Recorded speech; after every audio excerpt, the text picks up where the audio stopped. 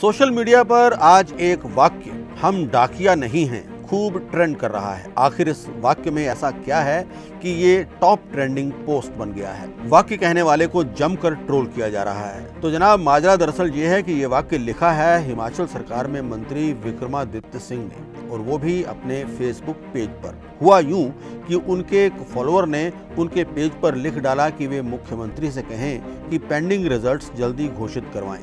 बस पता नहीं मंत्री जी किस मूड में थे कि फट से उत्तर जड़ दिया कि भाई हम डाकिया नहीं हैं कि आपके संदेश सीएम साहब तक पहुंचाते रहें। उसके बाद सोशल मीडिया पर जो रिएक्शन आने शुरू हुए तो मंत्री जी के लिए जान छुड़ानी मुश्किल हो गई। कौन क्या कह रहा है, ये तो विक्रमादित्य सिंह के पेज पर जाकर पता चल ही जाएगा, लेकिन चार शब्दों के इस मासूम से वाक्य ने अपने आप में काफ़ी कुछ बयान कर दिया है। विक्रमादित्य सिंह को ये वाक्य लिखने की ज़रूरत क्यों पड़ी? क्या ये झल्लाहट इसलिए थी कि सरकार में सुनवाई नहीं हो रही?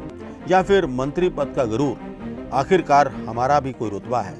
किसी अरे गहरे का संदेश क्यों फॉरवर्ड करते फिरे? बहरहाल मामला उल्टा पड़ा। ट्रोलिंग की मार से सटपटाए विक्रमादित्य सिंह ने अब ये उत्तर डिलीट कर दिया है।